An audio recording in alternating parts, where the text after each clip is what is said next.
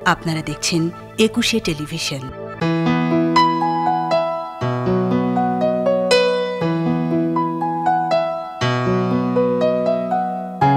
ব্যস্ত শহরে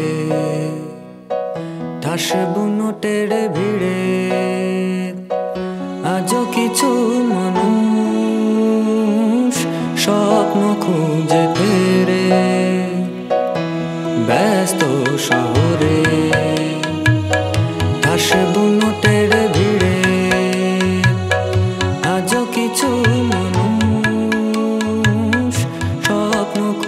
খুঁজে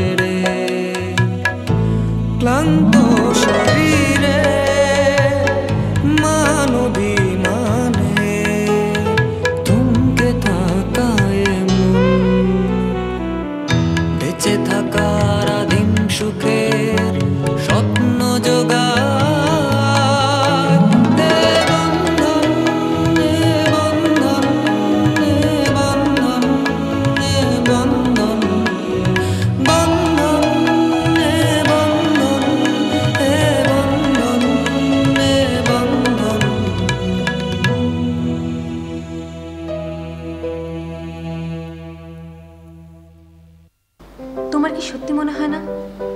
তোমাদের সংসারে আমার উপস্থিতির জন্য আজকে এই সিচুয়েশন তৈরি হয়েছে। তোর বউরে এখনও বসতে রাখছস? তোর না কইছিলাম আমি বাড়িতে লইতে?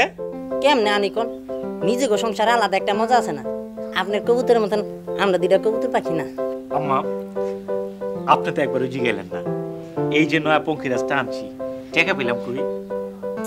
আমি সবই জানি তোর বাপে টাকা দিচ্ছে আর আজই যে কিনে লইবি সেটাও জানি। তোর প্রবলেমটা কি শেয়ার করা যায়? ছুটি চলে গেছে। কোথায়? কেউ জানে। জয় এই রাতে কথা মনে আছে?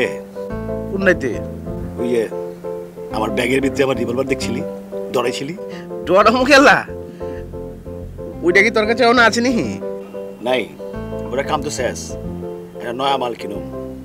একে ফর্টি সেভেন রোহনের বউরে পাওয়া যেতেছে না। পাওয়া যাইতেছে না মানে? মানে বাসার থেকে চলে গেছে।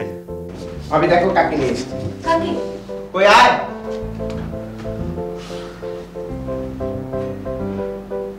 হ্যাঁ। হ্যাঁ। আমি বাদল।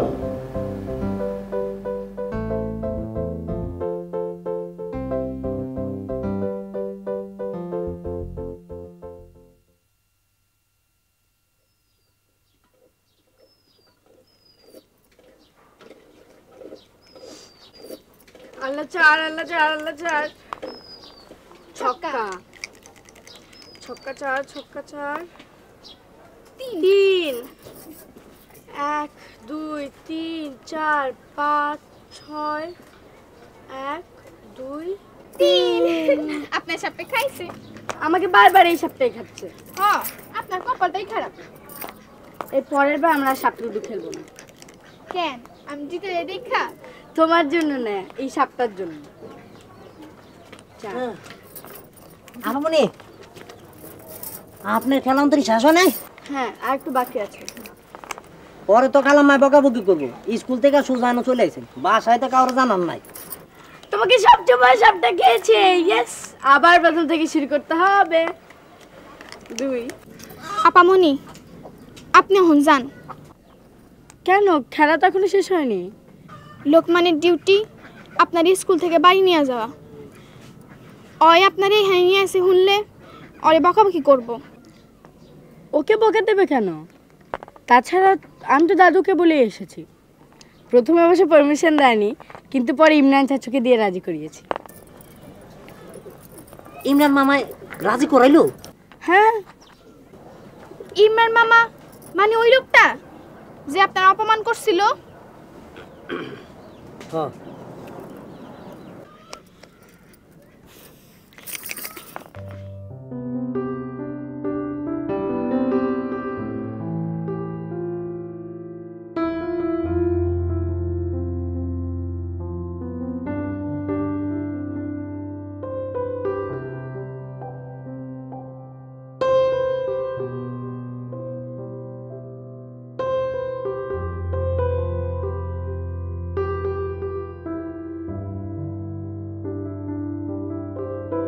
ধর। এসব করছ কেন? এইসব আবার কি মানে? সকালবেলা চা খাবি না? কাল তো ডাক্তারি শিখছ। বড় ভাই চা বানায় দেয় আর তুই বাবা খাস। আমারে কালকে রাতে আমার লগে এবার চেয়েছিল। কেন? কেন আবার? তোরে বাড়িতে লয়ে যাবার চায়। মাকে আসতে মানা করো। আমি এখন নিজের বাড়ি ছেড়ে কোথাও যেতে চাই না। আর ও বাড়িতে যদি যেতেই হয় তাহলে আমি ছুটিকে সাথে করেই যাব। তোর ইচ্ছা আমার কোনো কিছু নেই। আম্মাই আম্মার মতো ভাবছে। আম্মাই তো আর তোর মতো করে ভাববো না। যাই হোক ছুটির কোনো খোঁজ খবর লুচোস না।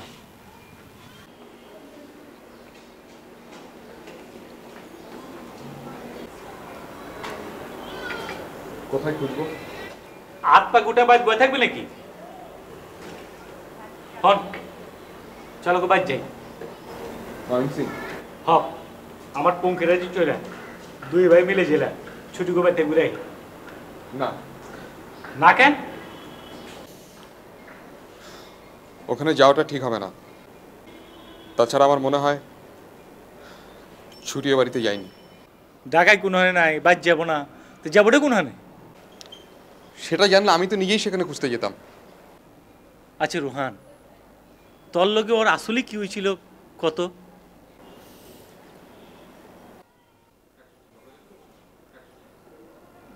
ঝগড়া জাটে হয়েছিল? না। তাহলে ম্যাডা খামা খাওয়া চলে যাব? আমি বুঝি না। আমি নিজে তো বিয়ে করি নাই আমি তো কোনো এই কারবার করব বুঝি না।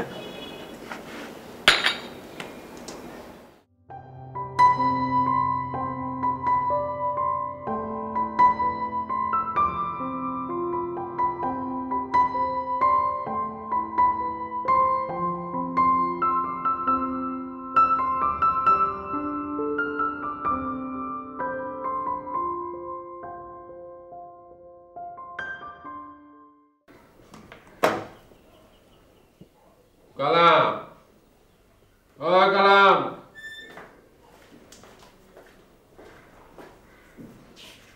আমার এক কাপ চা দিবা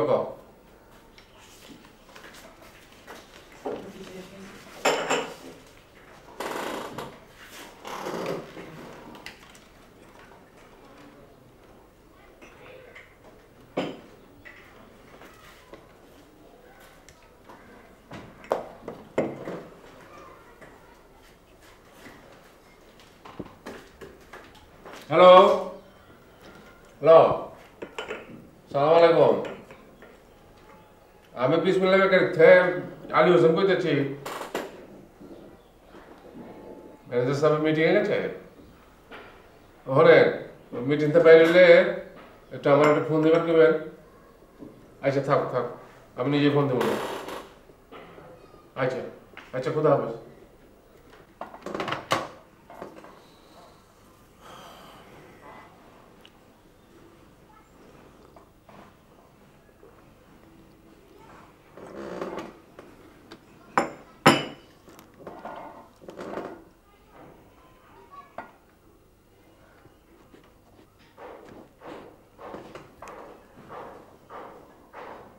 হ্যালো?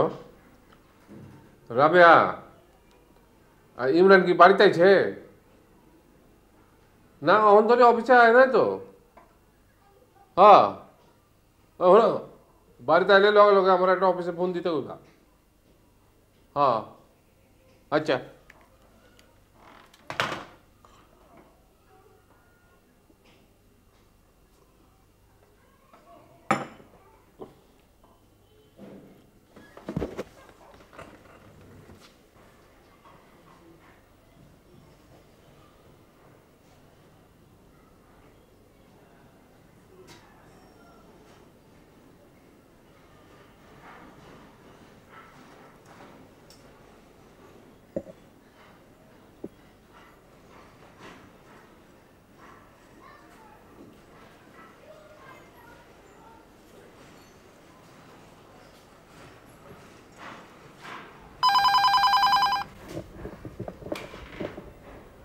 হ্যালো আসসালামু আলাইকুম ম্যানেজার সাহেব জি। আমি দুই, তিনবার ফোন দিয়েছিলাম আপনি তো মিটিংয়ে আছিলেন। হ্যাঁ। জি জি। আল্লাহর আমাদের কাম তো শুরু হয়ে গেছে গা। হ্যাঁ হ্যাঁ। ভালো মতো শুরু হয়েছে। আপনি যেসব কাগজপত্রের কথা কইছিলেন, আমি তো ব্যাপার দিয়ে দিচ্ছি জি। আল্লাহর রহমতে এই বিসমিল্লা বেকারি সুনাম মানছে। না করলেও দূর নাম কেউ করতে পারব না। এরপরে তো যা চাই যা করণের এ তো আপনারাই করবেন, বাস বিচার করবেন আপনারা। জি। জি। কোন কাগজের কথা কইতেছেন? জি, কাগজ তো ব্যাপার আমি দিয়ে দিছি।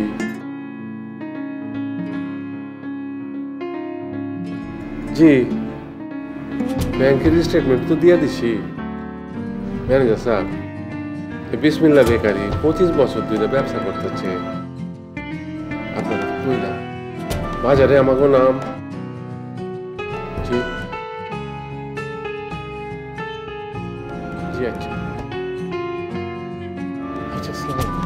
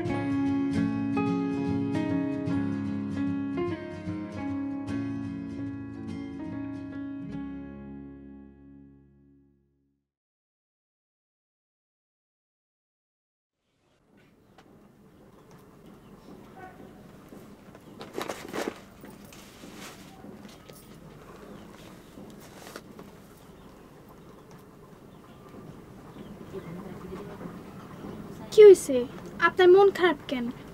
নানা শরীরটা খুব খারাপ। আমি রাখছি ওখানেই থাকুন কখন কি দরকার হয়? কি হয়েছে প্রেশার টেশার হয়েছে মনে বয়স হয়েছে না। এইটা আবার কি অসুখ আছে একটা ওষুধ।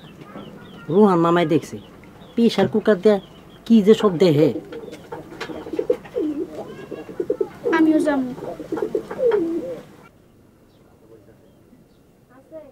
তুমি যাইবা? হ নানায় দেখতে। তুমি না ওই বাড়িতে যাইবার চাও না? মানুষের বিপদ আপদের লগে রাগারাগি কোনো সম্পর্ক নাই। বাহ তোমার মতন ভালো মাইয়া হয় না। আব্বা এখন আপনার কেমন লাগছে? ভালো। ইমরানে ফিরছিল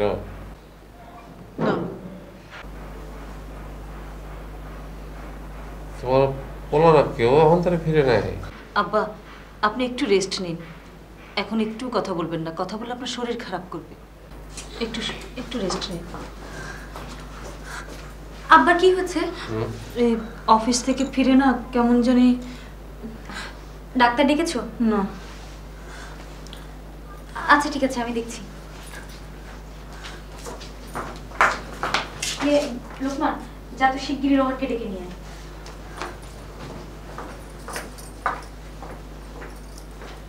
রোহান এবার ডাকনের দরকার কি কোন পেরেছানের কাম নয় মাথাটা একটু চক্কর দিয়েছিল ও ঠিক আছে ঠিক হয়ে গেছে নানা এখন কেমন আছেন কেটা তসলিমা ভালো আছি তসলিমা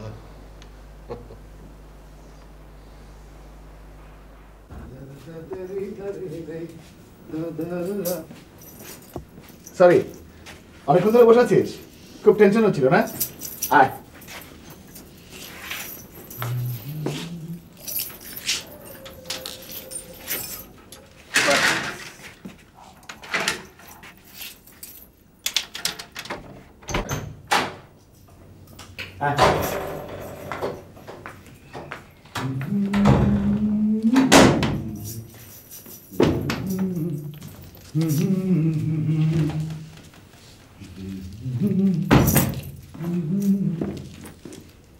এনে। কি হলো টেনশন কমেনি কিরে? মুখটা প্যাঁচার মতো করে রেখেছিস কেন? এখনও টেনশন হচ্ছে? হুম? নিজেকে ছাড়া আর অন্য কিছু ভাবতে পারো না তাই না? সারাটাক্ষণ শুধু নিজেকে নিয়ে বিভোর। ভাবো যে পৃথিবী শুদ্ধ লোক শুধু তোমাকে নিয়ে কনসার্ন তুমি কোথায় গেলে কখন কি করলে সেটা নিয়ে সবাই টেনশন করছে। তাদের আর কোনো ব্যক্তিগত জীবন নেই। না আসলে তুমি কি একটাবারও ভাবলে না যে আমি সারাটা দিন অফিস থেকে টায়ার্ড হয়ে ফিরি? একা একা বাইরে গিয়ে সময় কাটিয়ে আসলে? তোমার শুধু চিন্তা একটাই যে আমি তোমাকে নিয়ে টেনশন করছি কিনা? তোমার আমাকে নিয়ে কোনো টেনশন হয় না? না ওই বাইরে গেলাম তো হুট করে একটা কাজে। তোমার এই হুটহাট জীবনের সাথে আমি অভ্যস্ত না। তাছাড়া আমি বা কেন এসব? মেনে নিবি বা কেন তাই না? আমার মনে হয় একটা ডুপ্লিকেট চাবি হলে ভালো হয় তাই না? অদ্ভুত। আশ্চর্য। আমি তোমাকে এতগুলো কথা বললাম, তোমার গায়ে লাগল না? আবার তুমি ডুপ্লিকেট চাবির কথা বলছো?